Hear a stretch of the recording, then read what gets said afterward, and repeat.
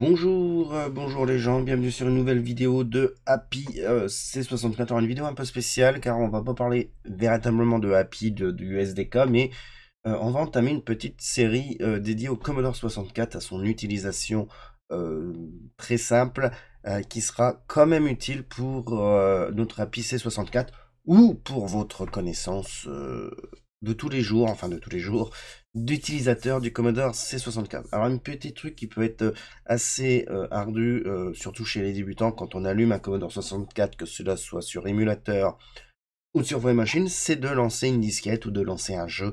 C'est très compliqué de comprendre, enfin c'est pas que c'est compliqué, c'est qu'il y a une petite syntaxe qui, je vais être honnête, un peu plus compliqué que sur par exemple un Amstrad CPC.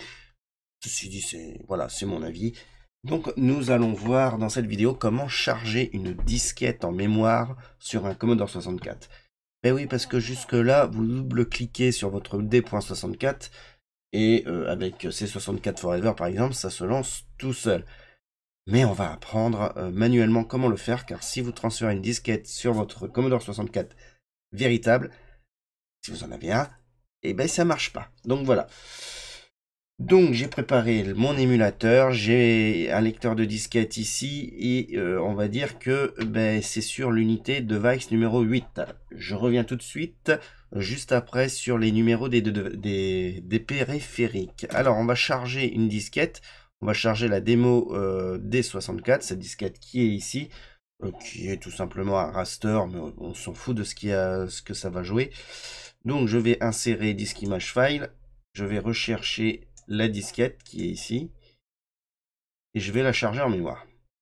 Notre disquette est donc euh, chargée en mémoire. Maintenant, il existe plusieurs commandes euh, sur le Commodore 64 et euh, sur le basique. Alors on va voir déjà la première commande qui est de lister cette disquette. Et c'est très simple. On va faire un load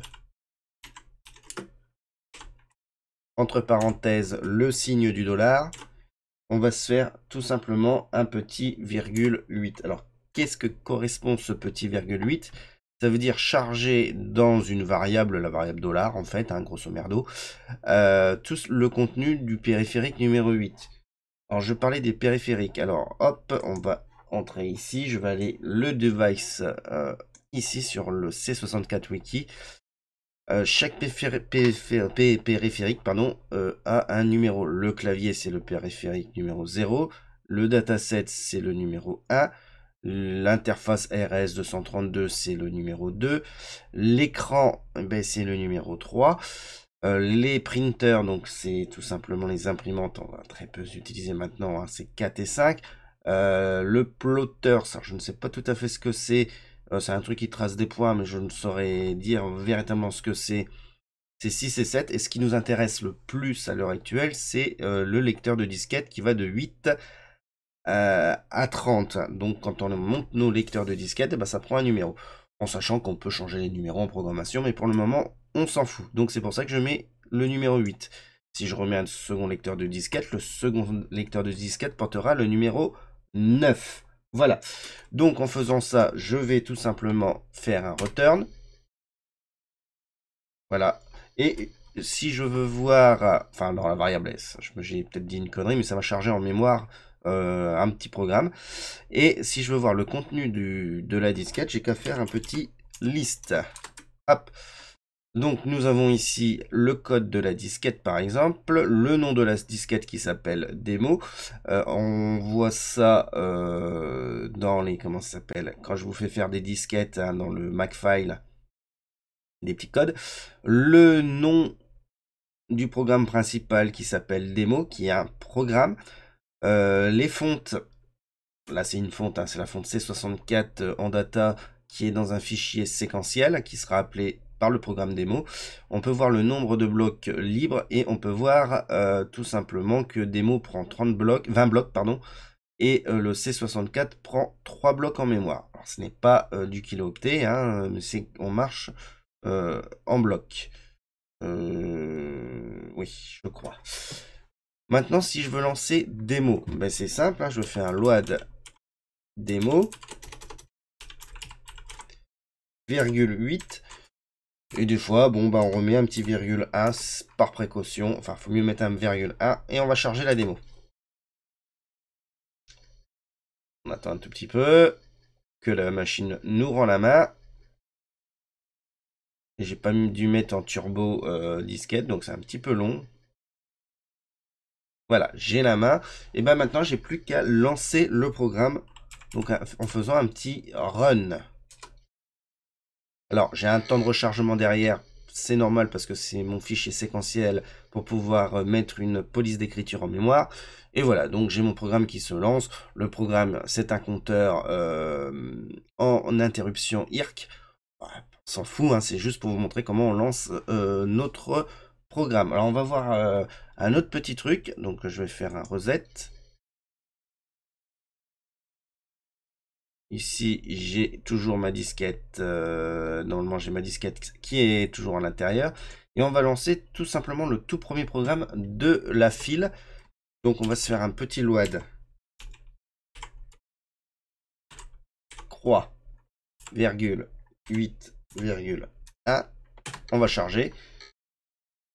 Le programme se charge en mémoire.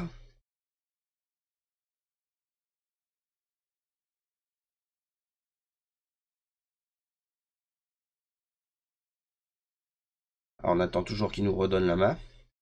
On a la main. Maintenant, on va faire un petit liste et vous allez voir qu'en fait, ce qui se passe, eh ben, c'est euh, tout simplement euh, ici un programme basique qui nous permet euh, de dire bah, lance à la ligne 816, donc il y a encore des lignes avant ou des lignes après, on s'en fout, c'est une ligne.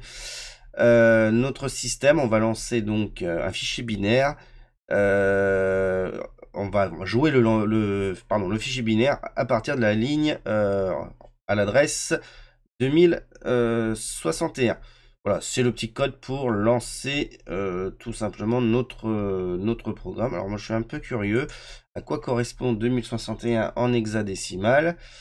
Euh, Hop, hex 80D, tiens c'est rigolo. 80D. Euh, si on va dans le système de configuration, je vous ai dit que les programmes débutent à la ligne, euh, euh, à l'adresse 800, 801 pour être précis, en hexadécimal.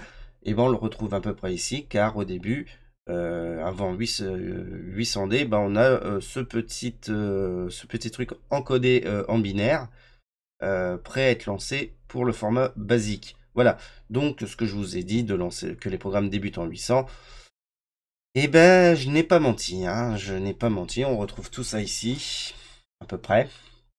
Donc je suis assez content. Voilà.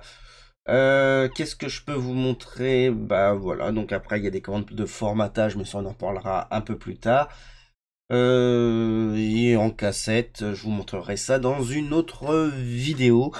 Voilà, c'était un petit cours de chargement de disquette euh, sur le Commodore 64 qui va être utile. Je ferai d'autres vidéos euh, sur le Commodore 64 euh, de son utilisation. Je vous présenterai par exemple l'Ultimate 2. Euh, je vous présenterai la Kung Fu, voire même un, émulateur de, de cassette pour vos programmes. voilà, donc il y aura d'autres vidéos de ce style sur la chaîne APC64 parce que je trouve ça très important. Euh, voilà, donc de construire une petite chaîne comme ça, des petites vidéos comme ça. J'espère que ça vous plaît. Si ça vous plaît, n'hésitez pas, le petit commentaire, le petit pouce en l'air, ça fait toujours plaisir. Partagez cette chaîne euh, et ou abonnez-vous hein, si ce n'est pas fait parce que c'est super important pour moi. Euh, je vous remercie et puis bah, une prochaine vidéo sur c 64 et d'autres vidéos du SDK ou de la gestion du Commodore 64. Allez, au revoir et merci.